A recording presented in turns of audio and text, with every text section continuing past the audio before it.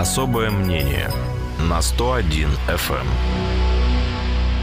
В Кирове 12 часов и 5 минут. Добрый день. У микрофона Владимир Сметанин. Мой собеседник на ближайшие полчаса с небольшим Дмитрий Сергеев, генеральный директор строительной фирмы «Маяковская», член правления Союза строителей Кировской области. Дмитрий Валерьевич, добрый день. Приветствую вас. Добрый день. Понедельник. Начинается новая рабочая неделя. Стартовал новый учебный год.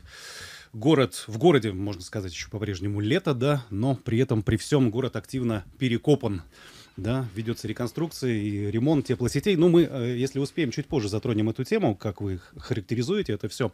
Хотелось бы начать с э, вашего мнения по поводу в целом текущей ситуации в строительной отрасли в нашем регионе. По данным Кировстата, которые недавно появились, все ключевые отрасли экономики в нашем регионе уверенно растут, но в первую очередь рост связан со строительной сферой.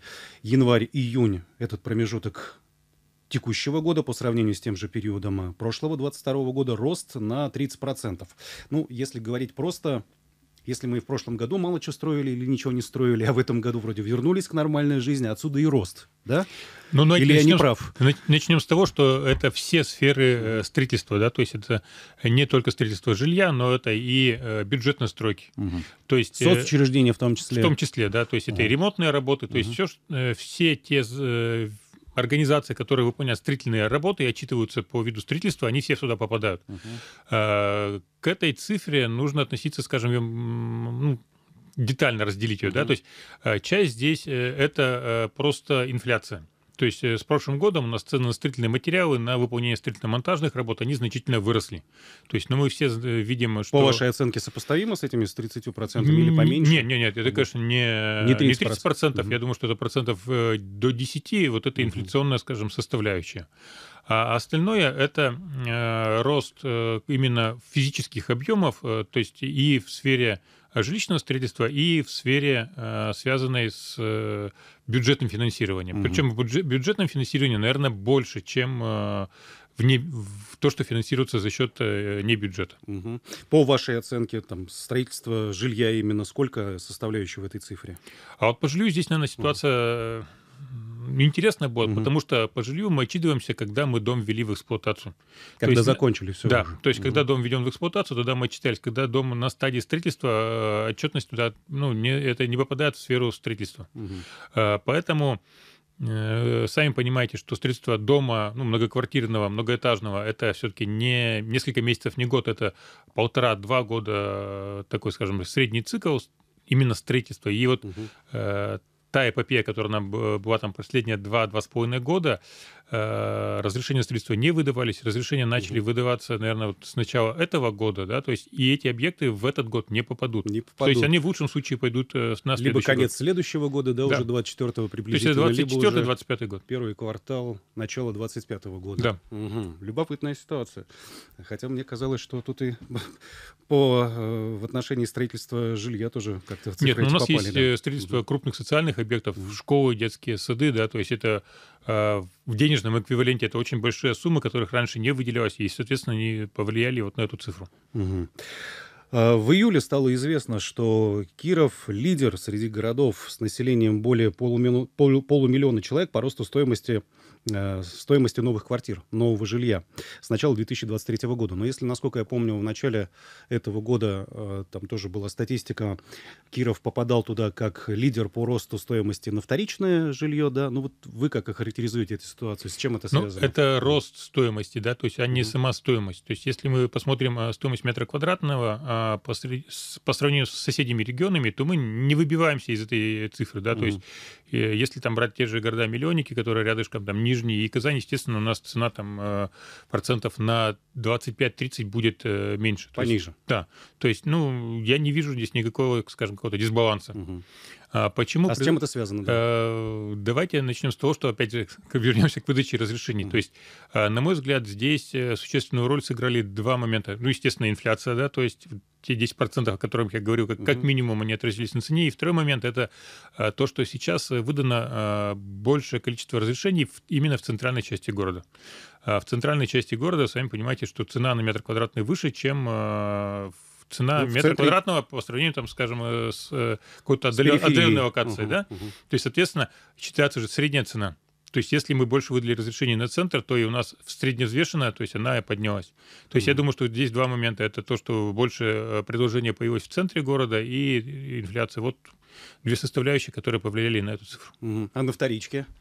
Ну, вторичку, честно Ситуация. говоря, я не отслеживаю, поэтому, наверное, по ней не скажу. Ну, она же завязана в, тоже, в, том, в том числе и на, а, Здесь на, на первичный На рынок. вторичку, наверное, да. больше влияет э, доступность ипотеки, то есть доступность по возможности приобретения. Поэтому угу. вторичка э, росла гораздо медленнее, потому что на первичку это все-таки государственная поддержка, причем она ну, на сегодняшний момент после роста ключевой ставки стала очень существенной.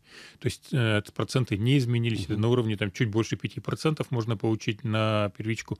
Вторичка это по рыночной цене, то есть это ну, там, от 12, а по угу. факту это, наверное, процентов 15. Угу. Ключевая ставка у нас, напомним, недавно была повышена Центральным банком России. Как, на ваш взгляд, скажется? Эта ситуация? Ну, я думаю, что это все-таки вот переток угу. потребителей со вторички на первичку. Вторичка, наверное, сейчас в такой в стагнации, в стопоре, то есть она, пока люди не привыкли к этим э, новым условиям. А на первичке пока это, ну, на мой взгляд, это на мой взгляд, это не отразилось. Uh-huh. Здесь мы были в эфире еще с одним из представителей риэлторов, то есть они сказали, что да, это, наоборот, спровоцировало некий спрос. Повышение. Повышение, спроса. повышение интереса. Да, потому что ну, люди, скажем, неопределенности, и, э, а вдруг повысят? Вдруг государственная поддержка будет отменена. Поэтому, скажем, э, ну, те, кто думал, они чаще склоняются к тому, что надо брать. Ну, по-моему, на рынке недвижимости всегда так. Всегда нужно брать быка за рога, что называется сейчас. А да, вот знаете, самый, самый разумный знаете, шаг. вот моя моя точка зрения, угу. вот она сформировалась там за последние там, 15 лет, кому нужно жилье, кому нужно решать свои э, проблемы, ждать того, что что-то изменится в лучшую для вас сторону, то есть угу. там а, цена будет дешевле, а, льготы какие-то новые появятся, не стоит. То есть, если вам нужно решать вопрос, его нужно решать сейчас. Те, кто занимается инвестициями, да, то есть они тут должны взвешивать, насколько окупаемость там, и другие факторы, но угу. таких людей по моему взгляду, их не Инвестиции в недвижимость, да. да, вы имеете То есть, да, тот, кто угу. покупает угу. на первичке с целью дальнейшей продажи. Угу. Какова сейчас ситуация, Дмитрий Валерьевич, со строительными материалами, с прочими факторами, которые влияют на конечную стоимость квадратного метра? Как ситуация изменилась mm. за последний месяц? Ну вот смотрите, то есть у нас есть сезонное колебание uh-huh. цен и предложений, у нас есть вещи, связанные именно с ростом строительства в целом по нашей стране, да, угу. то есть, э, ну и э, плюс не забываем тот факт, что у нас сейчас большое количество строительных материалов, строительных ресурсов идет на восстановление новых территорий. Угу. То есть вот эти факты повлияли на то, что есть некоторая ну, дефицит, наверное, трудно сказать, да? Не, неправильно будет сказать. Напряженность. И, и, напряженность, да, то есть сроки увеличились, цены выросли, да, то есть это вот именно связано с Э, недостаточным э, производством строительных материалов для потребления вот этого пиковой нагрузки. Почему угу. пиковая? То есть сейчас еще идет и а, сезонное потребление, это дачники, коттеджное строительство. Ремонт, оно, наклад... оно накладывается угу. сейчас. А, поэтому, ну, например, э, сезонные есть проблемы с цементом. Ну, вот они каждый год бывают, в этом году они начались раньше, и они еще не закончились. Этой сложности Э, с приобретением больших партий, это угу. вагонные поставки, именно с нехваткой подвижного состава. Но это бывает каждый год. Он есть, но он есть на заводе. Платить нужно нет, больше. Нет, нет, нет, нет, нет. Вопрос в том, что он есть на заводе, но его проблема привести э, потребителю, угу. то есть в город Киров. Угу. То есть железная дорога плохо дает э, подвижной состав, можно привести там, например, автомобильным транспортом, но это опять маленькая поставка, это увеличение стоимости. То есть ну, вот вопрос в логистике. Угу. Цемент, соответственно, это бетон в том числе. Цемент, да? бетон, железобетонные угу, изделия. Угу. Железобетонные, там, металл, древесина, с, с ними как ситуация? Ну, если там э, говорят, что цены вернулись к прежнему уровню, угу. то не так. А, да, они, э, может быть, э, какой-то отскок э, приобрели, но, тем не менее, за с началом строительного сезона они начали, начали потихонечку снова расти. То есть там 10-15% этот угу. рост снова произошел. Он когда летом был, этот отскок? Или а, отскок, отскок он был, э, наверное, с началом э, специальной военной операции, угу. да, то есть, ну и после этого как бы цены был, был шок, да, то есть угу. закрылись внешние рынки, да, был переизбыток и древесины, угу. и металла, но постепенно как бы Э, цены свое берут, то есть угу. они растут. Угу. Мы сейчас в строительстве обходимся сугубо своими материалами, компонентами, техникой и так далее. Ну вот давайте разделим, опять же, на, на технику и... Ну давайте, хорошо. И, да, да, и строительные, сложнее, и строительные наверное, материалы. Угу. То есть по строительным материалам, вот если э, то, что касается нашего предприятия, то, что касается наших коллег, у нас доля импорта была минимальна. Причем она в первую очередь касалась какой-то электроники, да, то есть это там управление тепловыми узлами, управление а, лифтами, да, то есть вот э, на сегодняшний момент дефицита или какой-то нехватки с этими компонентами я не вижу. То есть э, они вещи такие, ну, не настолько они высокотехнологичны, чтобы mm. их нельзя было заменить. Но они сейчас наши? Они сейчас э, наши, белорусские, да, то есть китайские, появились аналоги, да, может быть, там ценовая категория стала чуть-чуть подешевле, подороже, но э, в общей стоимости такого существенного угу. какого-то роста они не угу. повлияли. А класс тот же самый у них, да? Ну, это поживем увидим. С долговечностью да, их. Долговечность мы пока испытать не можем, угу. то есть это произошло там в прошлом году, в этом, то есть там, ну, 3-5 э, лет нам нужно для того, чтобы посмотреть. Оценить. Э, равнозначно замена или не равнозначно. Угу. По технике э, есть предложение, э, скажем, той же китайской техники, э, не маленькая. Вот вопрос в ее надежности, ее долговечности пока тоже, скажем, остается открытым. А что это за техника, если уж так? Э, любая. Самая разная. Это, это и башенные экраны, ага. это и автомобильная техника, угу. это и землеройная техника. То есть аналоги можно, ну как, вернее, э, по номенклатуре это все. Есть российские, но они закрывают не все э, ниши, скажем, да, то есть есть какие-то пробелы, э, скажем, экскаваторы тяжелые мы выпускаем, а средние угу, их угу. уже нет, да, то есть вот какие-то пробелы в этом есть. Угу. Возможно, там нужно время, да, чтобы какое-то прошло, чтобы эта ниша была заполнена. Я но... не знаю, насколько у нас велик рынок, чтобы uh-huh. заполнять все ниши, да, uh-huh. то есть мы же все равно живем ну, в условиях мировой э, кооперации, и uh-huh. э, заполнить все ниши, ну, может быть, просто это экономически нерентабельно, просто цена uh-huh. этой продукции будет намного выше, чем привезти из того же Китая. А как на деле это выглядит? Приходится брать в аренду у других организаций какую-то технику? Ну, вы знаете, в советские времена, когда не было ничего, то есть мы сейчас живем, ну, как э, сыр в масле, да, в, в, в плане беспечности техники, то есть найти другие какие-то технические решения для того, чтобы заменить не хватающую или там выпадающую технику, а, проблем нет. Угу. Единственное, с той техникой, которую приобрели мы раньше, то есть там э, европейского либо э, японского производства, да, есть э, сложности с поставкой запчастей. запчастей. То есть это сроки. Угу. Это очень большие сроки. Угу. Ну, так или иначе, каналы эти есть, да? Каналы ну, есть. Я не привести. скажу, что не привести, но это сроки месяцами исчисляются. Угу, угу.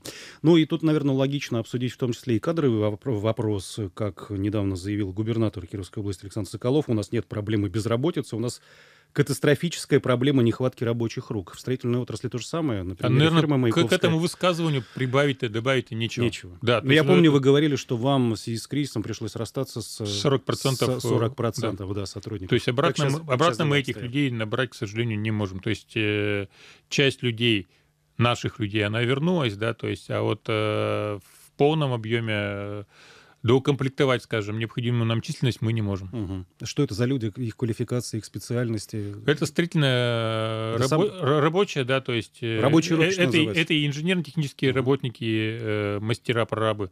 То есть вот с этими кадрами есть проблемы. Угу. То есть в настоящее время есть возможность... Есть вакансии. Есть вакансии открытые, да. да. Я думаю, что не только в вашей не только у нас. Да, строительной компании. Каким образом, какие меры прорабатываете, где ищете людей? Как, как вариант внутренние ресурсы, да, как вариант есть, из других регионов приглашать. Ну, тут, ну, не знаю. мы не настолько большая организация, чтобы нам, скажем, возить э, бригады из там соседних регионов, из соседних э, дружественных стран. Э, внутренние ресурсы это совмещение, это вменение новых обязанностей, естественно, с, с, э, с материальной компенсацией. Перед, перед тем, как новые обязанности на человека ну, навесить, ну, нужно же обучить Здесь просто, здесь, может быть, да, они ему свойств, как сказать, близки, но раньше, да, скажем, работало два человека, сейчас работает один. Естественно, нагрузка человека возросла, да, то есть э, материальное поощрение, но, э, скажем, при каких-то э, обстоятельствах, то есть там отпуск больничный, да, uh-huh. закрыть уже неким получается, uh-huh. да, то есть вот этот момент. Э, по рабочим это привлечение субподрядных организаций, то, чем мы раньше не пользовались. Uh-huh. А насколько это массово используется? У ну, у других организаций это практика существовала всегда. У нас она была сведена к минимуму. На сегодняшний момент, э, наверное, доля там 10-15%. О, то есть каждый, десят, каждый десятый, примерно каждый восьмой. Ну, скажем, это если в денежном выражении, то, скажем, из 100 рублей, то есть 10-15 рублей – это угу. те деньги, которые работают подрядной организации. Ну, многие работодатели сейчас не видят иного выхода, как побороть кадровый голод, кроме как платить больше вы идете на это? Ну, мы здесь... Изыскиваете возможности. Да, мы за этот год два раза подняли заработную плату, а, причем еще и отдельные какие-то расценки были пересмотрены, да, то есть плюсом к этому. А, вопрос в другом, то есть физически этих э, людей нету, потому что ну, бороться нам с конкурировать э, с уровнем заработной платы в городах-миллионники, ну, нет такой возможности, угу. потому что уровень того же метра квадратного, как мы говорили, там 25-30%, угу. да, то есть э, плюсом. плюсом. Угу. Если э, платить такую же заработную плату, просто у нас по такой цене никто наше жилье покупать не будет. Поэтому мы здесь зажаты э, возможностями угу. потребителя и желанием работать за такую заработную плату. Какой-то компромисс, ну, мы всегда его искали. То есть э, вопрос, скажем, какой-то сбалансированности рынка. А ток кадров из строительной отрасли в другие регионы, он по-прежнему есть? Э, первые... Да? Переманивают более первые, высокими Нет, наверное, здесь не, не отток кадров. Когда мы потеряли наших работников, да, то есть часть из них уехала в другие регионы. Это, ну, как бы недоподлинно известно. Второй момент, э, то, что повлияло, это Э, оборонное предприятие, которые перетянули э, работников, э, причем именно строительных специальностей, потому что в их штате тоже есть ремонтно-строительные какие-то подразделения, они mm-hmm. ушли туда. То есть здесь вопрос, наверное, даже не э, роста заработной платы, здесь вопрос то, что люди э, надеются на то, что у них там появится бронь призыва. То есть вот угу. такой момент. Угу. Ну и э, то, что уезжают, ну, наверное, нет. Угу. Сейчас, уже, сейчас уже этот вопрос, наверное, стабилизировался. Угу. А как со временем наш рынок в области строительной, он становится более привлекательным для строительных организаций из других регионов? Вы ощущаете как-то? А я не вижу, чтобы... Интерес А такой. я не вижу, чтобы подъехали, приехали угу. сюда подрядчики. Да, то есть, э, да, появляются организации, которые пытаются... Какие-то вот единичные там случаи, Они нет? становятся генеральным подрядчиком, uh-huh. и здесь ищут э, наших местных подрядчиков. Но ни технику, ни персонал сюда никто не привозит. То есть это ну, приехал человек, здесь снял стол, стул, ручка с собой была в кармане, и на этом все закончилось. Uh-huh. То есть э, быть привлекательными для других регионов нет. Вы сталкиваетесь с такими предложениями? Они всегда были. То есть это, это больше, больше всего на э, государственных закупках, где ну, к сожалению, 44-й закон запрещает ставить какие-то дополнительные барьеры, да, то есть и здесь, кроме цены, никаких э, других, э, скажем, э, преимуществ у соискателя нет. Поэтому вот здесь как раз вот эти э, иногородние организации, которые сами ничего за собой не имеют, угу. ну и примеры, мне кажется, ходить далеко не надо. Там строительство школ э, нам показало, что они берутся, но угу. фактически ничего сделать не могут. Мягко говоря, не все так гладко, да, продвигается. Совсем не гладко. Да, совсем не гладко. Недавно стало известно, что в Кирове собираются строить микрорайон «Новые чистые пруды» почти на 700 тысяч квадратных метров жилья. Чиновники нам обещают, что это будет комплексное развитие территории с созданием социальной инфраструктуры и так далее. Э, это первый такой проект у нас? Именно комплексного освоения территории? Нет, мы это, долги, это, мы... втор, это второй проект. Второй. Первый был э, Ганина, угу. Шубина Ганина, угу. который не, не, реали... который не реализован да, на сегодняшний момент. Да. Э, почему э, второй? То есть у нас там администрация говорила, что 26 договоров э, комплексного развития КРТ заключено. А здесь идет речь о том, что земельный участок предлагает именно государство, да, то есть угу. будь то муниципальная, либо федеральная земли для застройщика не принципиально. Все остальные это были договоры, заключенные правообладателями, то есть где собственником являлся сам застройщик. Угу. В этом отличие. Поэтому это второй. Это хорошо, да, потому что угу. вовлекаются новые земли, которых, ну, это невозобновляемый ресурс, их больше не становится. И э, если э, речь идет о том, что нам до определенного уровня нужно довести жилищное строительство, то вот примерно из метра земли получается метр жилья. Ну, так грубо мы будем считать. Ну да. да то есть, если понимаю. мы вводим 150 э, тысяч метров жилья, то есть нам надо 150 тысяч метров квадратных э, земли каждый год обновлять, угу. чтобы мы шли на одном уровне. Э, задача Э, перед э, правительством Кировской области поставлена увеличивать объем жилищного строительства. Да? Uh-huh. То есть эта задача поставлена федералами. То, есть, соответственно, и земли мы должны вовлекать, в, вовлекать uh-huh. вот в этот э, строительный цикл намного больше. Uh-huh. Не забывайте, что для, для, для того момента, как мы начали строить, требуется еще там иногда очень длительное время для того, чтобы оформить эту землю в соответствии со всеми нормами нашего законодательства. То есть это и ну, начнем с самого простого, это кадастровая работа землеустроительная, но еще возникают вопросы, связанные э, с санитарными зонами, с объектами культурного наследия. И вот эти вопросы, они утягивают просто на года. То есть мало того, что вот эта информация появилась, то есть как э, она будет реализовываться здесь, на самом деле. Здесь все-таки эти земли много. должны э, государством быть, ну, муниципалами подготовлены, то есть здесь э, этих вот как раз э, вопросов... Э, ну, вопросы минималь... кадастра должны Да-да-да, они, они решить. будут минимальными, угу. и здесь э, ну, сроки до на подготовку они будут минимальными. Угу. То есть здесь, э, там, не знаю, полгода можно э, пройти экспертизу угу. для того, чтобы начать строить. А затем можно ли предположить, сколько там жилье будет стоить, насколько привлекательной будет цена? А, а это здесь уже нужно, Ведь... наверное, кто победит на этом mm-hmm. аукционе. Почему? Потому что какой класс жилья там будет заложен, какие нагрузки социальные, сколько они будут стоить в метре квадратном. Что такое комплексное развитие? Это да. когда за ваши деньги вам построят какую-то социалку. Да? То есть, соответственно... рядом, рядом поликлинику построили, но я же понимаю прекрасно, что вы за нее заплатили. Заложена цена да, в, да. в квадратном метре. Да, да. то есть ну, квартиры, насколько велики здесь будут социалки. Угу. Вот эти э, два земельных участка, они очень большие по площади. То есть у нас так исторически сложилось, что в городе Кирове есть три крупных застройщика. Угу.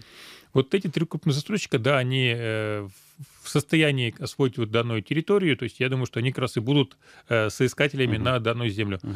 А, такие застройщики, как мы, и таких, наверное, э, ну, больше пяти, да, то есть в городе Кирове. Середнички, так скажем, ну, да? ну, ну, давайте так. Середнички. А, нам это не потянуть, угу. да, то есть вот поэтому мы на эти объекты не смотрим, мы на эти земельные участки не смотрим. А вариант субподряда, там, простите за такой, возможно, наивный ну, вопрос, опять да, же, когда, когда они тому... вас привлекают в, каком, в каком-то Вернусь к тому, что угу. Земли больше не становится. И угу. если у организации есть земля, то и кто-то с ней расставаться, ну, только крайняя необходимость. Поэтому угу. это маловероятно. Угу. А вообще вы считаете логичным такое развитие города вот именно в южном направлении? Давайте начнем с того, что пруды. у нас есть генеральный план, угу. который определяет, э, куда мы должны развиваться. Соответственно, генеральным планом, да, эта территория определена для жилищного строительства, то есть в ту сторону город должен развиваться. Угу. То есть это не сейчас нужно решать, да, этот вопрос, он был решен гораздо раньше. Угу. Но э, мне, честно говоря, хотелось бы, чтобы эти новые чистые пруды выглядели иначе, нежели как выглядят сейчас современные чистые пруды, когда ты туда приезжаешь. Ой, какой-то вот оторопь какая-то охватывает, ну, вот проблема давай... с парковками и так далее. Да. Значит, э, на сегодняшний момент, угу. вот поскольку эта э, территория выделена государством, угу. то здесь первое это пойдет утверждение проекта планировки. Угу. Да, то есть э, эта большая территория, она будет разделена на отдельные земельные участки, и будет определено, где будут находиться жилые дома, где будет находиться социалка. Угу. Да, то есть вот на этом этапе, э, причем этот э, э, вещь, она будет утверждаться э, администрация города Кирова, то есть здесь администрация вправе вносить свое видение вот в развитие данной территории. Угу. Это один момент. А второй момент, у нас сейчас утверждаются правила, а, по которым застройщики Э, в определенных локациях должны э, будут согласовывать внешний облик зданий. Угу. То есть это... С муниципалитетом, опять Да, же. с муниципалитетом. То есть это э, за исключением, скажем, исторической части города, здесь свои правила э, действуют, да, то есть это вся центральная часть, оставшаяся, угу. да, то есть это вдоль э, крупных э, улиц и э, новые все микрорайоны тоже вот в, эту, э, в это согласование тоже будут попадать. То есть угу. э, есть, э, на сегодняшний момент это не утвержденный документ, но он на стадии, скажем, э, проработки находится, будет утвержден Кировской городской думой, срок там пока стоит сентябрь, ну, не знаю, успеют, не успеют. Э, тем не менее, э, требования к внешнему облику, они там будут расписаны, да, то есть и вот Э, любое здание, которое будет попадать вот в, эту, угу. в, в эту территорию, оно должно быть э, согласовано и соответствовать этим правилам. Угу. У нас подошло время небольшой рекламной паузы. Я напоминаю, что мы общаемся с Дмитрием Сергеевым, генеральным директором строительной фирмы «Маяковская», членом правления Союза строителей нашего региона. Вернемся через полторы минуты. Не переключайтесь. Особое мнение на 101 FM. Продолжается наше общение с Дмитрием Сергеевым, членом правления Союза строителей Кировской области, гендиректором строительной фирмы «Маяковская». Знаете, какой еще Дмитрий Валерьевич интересует район? Хлебозаводской проезд, Московская, Горького, Герцена. Частенько там бываю. Интересный район, да, старый такой, безусловно, и, ну, это считается традиционно там и для строительной фирмы Маяковская, да, такой родной с землей, да, там все рядышком.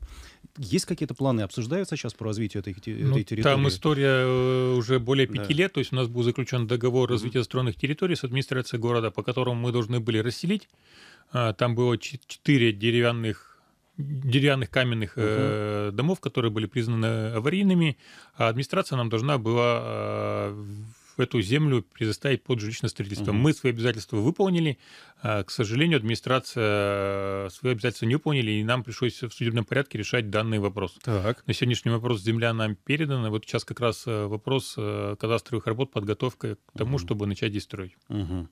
То есть будут планы озвучены уже, уже да? По ну, проект, плани... проект планировки, он согласован 5 а. лет назад, он ага. прошел публичное обсуждение, то есть все это есть. Все это есть. Где конкретно э, стройка начнется? Хлебозаводская, Московская. Хлебозаводской, Москва. А, ну, там остальное все застроено, то есть ага. там э, территория, есть э, гражданные кооперативы, uh есть территория э, военной части, то есть там больше свободной земли нет. uh Это единственное место, да, да. куда вот сейчас э, вполне возможно по срокам сориентируйтесь, по срокам, когда, когда получится уже к работе приступить. Ну, я думаю, что это, наверное, следующий год. Угу.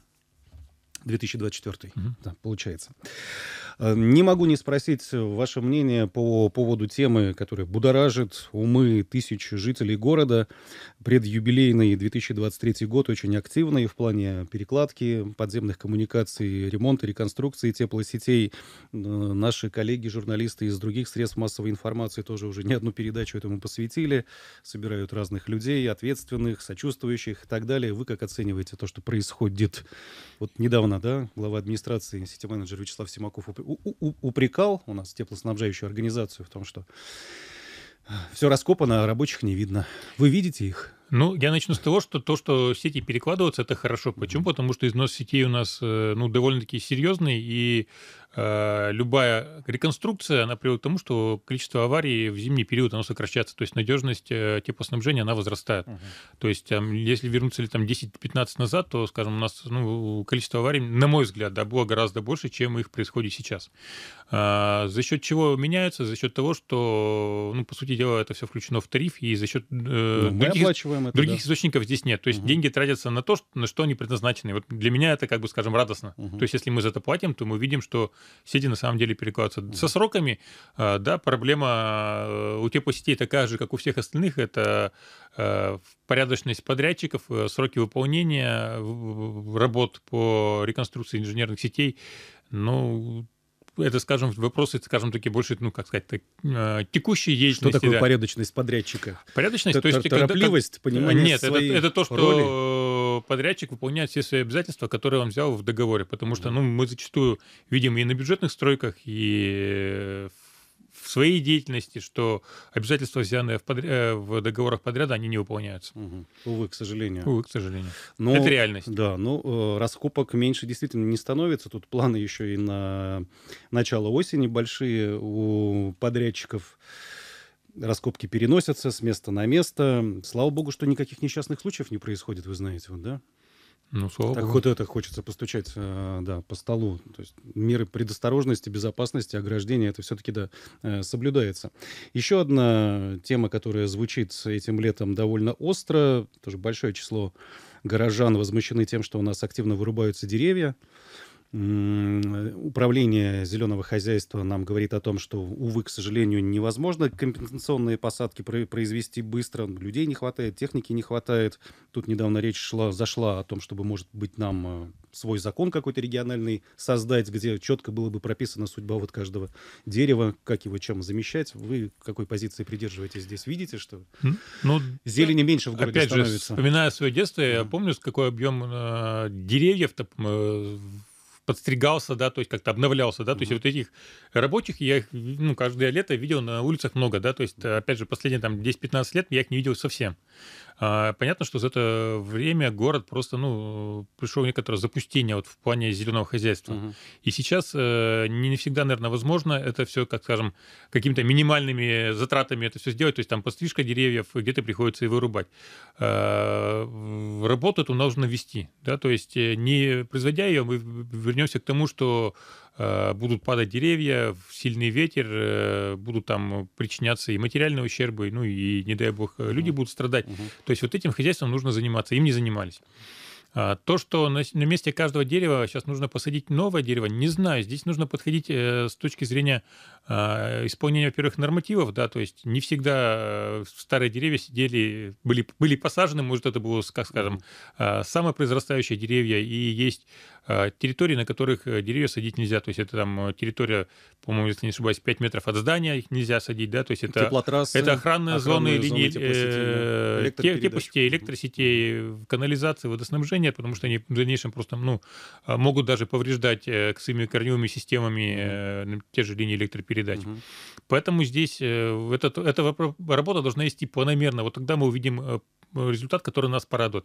Если это компанейщина, а, то, наверное, как бы результаты не будут положительным. А вообще к застройщикам есть требования по озеленению территории? Это должно Насколько быть, это должно быть э, учтено в проекте. Проект проходит экспертизу. То есть, в соответствии с нормативами мы должны э, там, предусматривать какие-то э, зеленые лужайки, может быть, деревья. Но это, опять же, остается на в рамках только земельного участка, на котором мы строим, потому что э, за территорию земельного участка мы выходить не вправе. Угу. И, и еще тоже один вопрос, который беспокоит очень многих жителей города, не только раскопки, но еще и капремонт да, многоквартирных домов, который в этом году, как известно, очень активно у нас идет, и планы грандиозные, 900 домов, если не ошибаюсь, по всей области за 2023 год. Но у вас и у ваших коллег там, возникают претензии да, по конкретным адресам. Вот я в соцсетях видел информацию по поводу Московской 1А, где подрядчик зашел, а потом пропал. Так, ну, там? Ну, подрядчик зашел больше года назад. Больше года. Да, и потом пропал, причем дом изуродовал. Угу. То есть, ну, к изуродованному дому у меня просто это как, э, может быть, строителя, как человека, который ну, в этой сфере занимается, меня это ну, до глубины души возмутило, да, то есть... Э, Э, дом, э, первый этаж был облицован природным э, камнем, угу. и вот этот природный камень был покрашен фасадной краской. Что с ним дальше сделать, я не знаю. То есть, как ее очистить, либо возобновить, но это просто ну, нереально, на мой взгляд. И что с этим будет делать фонд капитального ремонта, потому что подрядчика нанимал он, и ответственность перед жильцами, перед собственниками должен нести фонд капитального ремонта. Ну, помните, как в переходе у ЦУМа ну, в переходе у ЦУМа красили гранитные плиты? Там все-таки там был керамогранит. Вот мне керамогранит, ну, это нисколько не жалко, да, то есть, а тут здесь природный камень облицовочный, мне его жалко. Угу. Это такое здание Сталинка, то есть угу. они такие самобытные, Угу. И, соответственно, как бы, ну, они формируют наш градостроительный облик э, нашего города, причем это здание находится рядышком э, с вечным огнем. Угу, угу. Ну, а в целом, ваше видение того, как но этим, Право, вопрос, опять же, этим, этим да. вопросом надо заниматься. Ни разу фонд капитального ремонта за всю свою деятельность не выполнил план. Не достигал, да, этого стопроцентного результата. То есть э, у вас есть сомнение, что в этом году будет намного лучше? Ну, дай есть бог, чтобы я, чтобы я ошибался. Угу. Благодарим. Истекает время нашей беседы. Дмитрий Сергеев, генеральный директор строительной фирмы «Маяковская», член правления Союза строителей э, Кировской области. Благодарю вас за сегодняшний визит к нам. Спасибо вам. Спасибо, да, всего доброго. Всего доброго. Особое мнение на 101 FM.